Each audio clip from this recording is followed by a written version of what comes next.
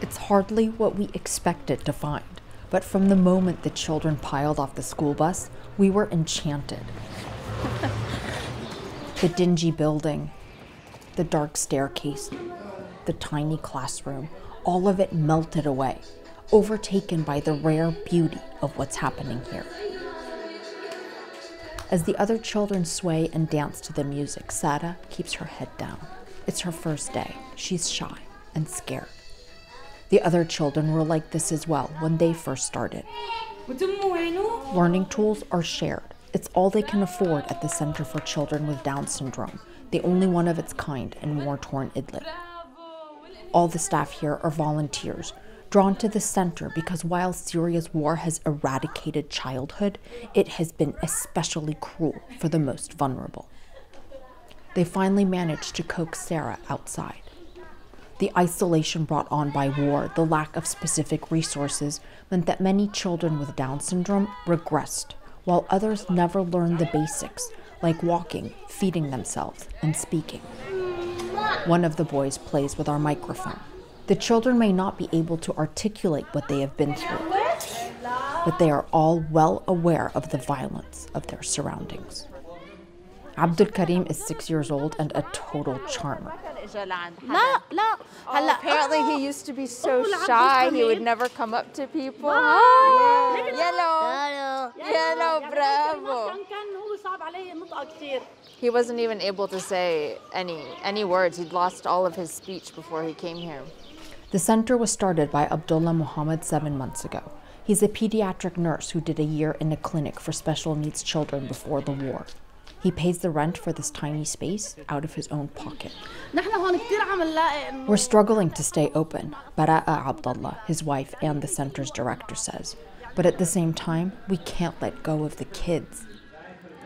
Especially not now, now that they have seen the impact they can have and knowing that hundreds more need their help. Down syndrome is a genetic condition in which a child has a full or partial extra chromosome. This affects the way that the child's brain and body develop. Early intervention can mitigate the majority of the developmental challenges. But even before the war, that was a struggle. One of the many problems is weak muscle development, Jamila Al Musa, the physical therapist, tells us. She says Abdul Karim should have splints to help his knee joints, but she has to work with the little she has. Eh.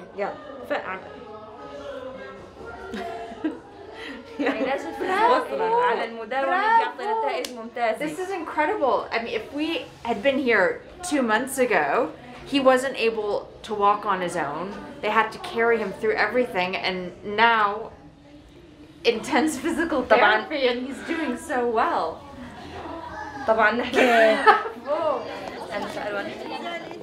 Years ago, Sara's parents had put her in school, but she was severely bullied.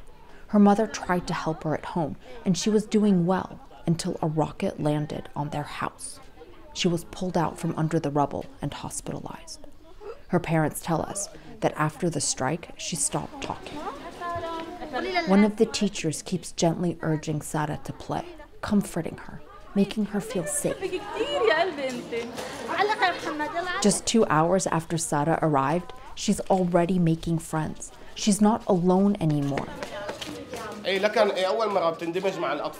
This is the first time that we're seeing her interacting with other kids, bonding her father Muhannad Ghazul says, clearly emotional. She's still shy with us, but says, I'm happy, and runs off to play outside.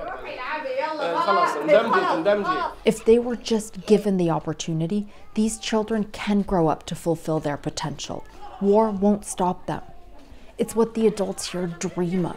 It's what they see children with Down syndrome do in more developed parts of the world. But at least they have created a space where there is no stigma, a space where there is joy and hope. Arwa Damon CNN, Idlib City, Syria.